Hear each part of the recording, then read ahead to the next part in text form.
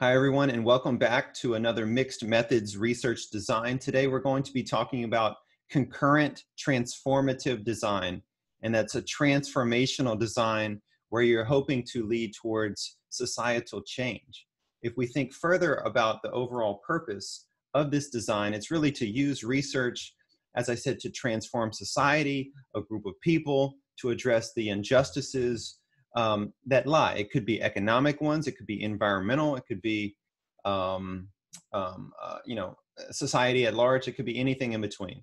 And so the aim is really to try to provide the solution for that. It's not just to describe um, the problem at hand, which is commonplace, but it's really to lead towards change.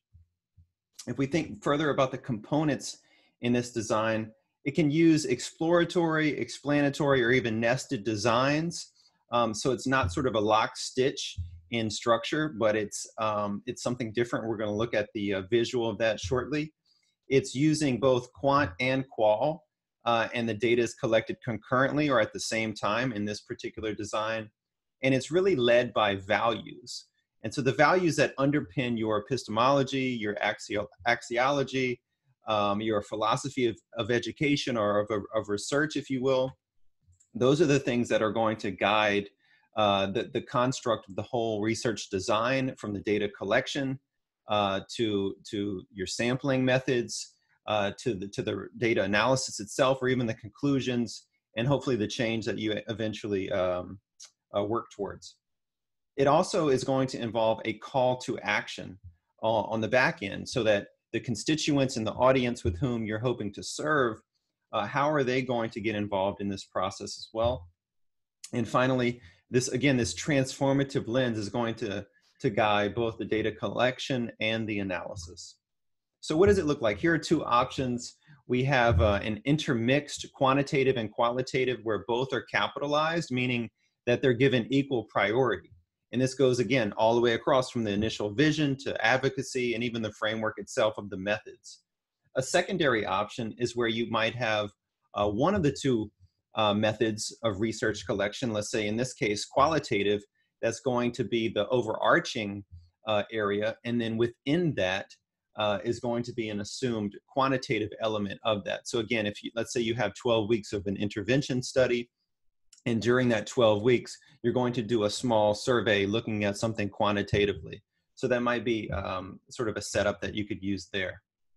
Again, the threading is unique because the overall integration involves this, let's say, social justice concept or environmental justice concept throughout the study. And so it's not just uh, using theory, let's say, to inform chapter one of your dissertation or chapter two of your literature review, but to really inform the whole process, whether it be a dissertation, a research project, or just trying to lead to societal change in affiliation with a nonprofit or just your own work. Some of the limitations include having a lack of structure because there's so many options and opportunities to utilize this transformative lens all the way across the board. So there's a lot of wiggle room.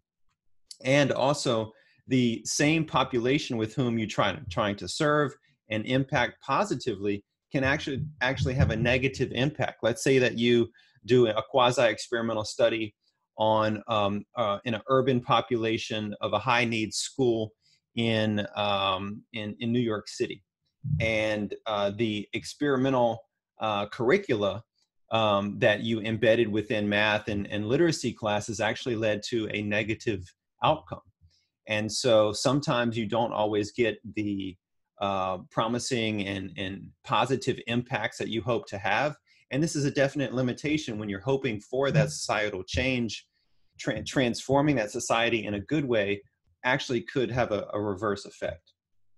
Another example here is if we have uh, Jeremy and Gina use this design for their ethnographic study of culturally responsive pedagogies in New York public schools, and they used a time diary to examine variations among these two schools in each borough related to the amount of time teachers spent teaching to students unique strengths, nurturing student achievement and promoting a sense of well-being, as opposed to just trying to fill in the gaps of their knowledge base or seeing things through more of a medical deficit model. The study was conducted uh, and guided by participatory ethnographic philosophy from James Spradley in terms of his participant observation methods. And the observations and reported activities were quantitatively analyzed for frequency.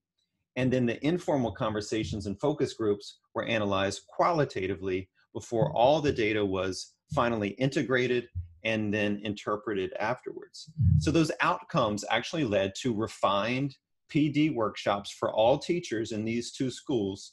And the researchers shared those conclusions with the whole district in hopes that they might have more widespread change as a result of this ethnographic research study using the concurrent transformative design uh, mixed methods research.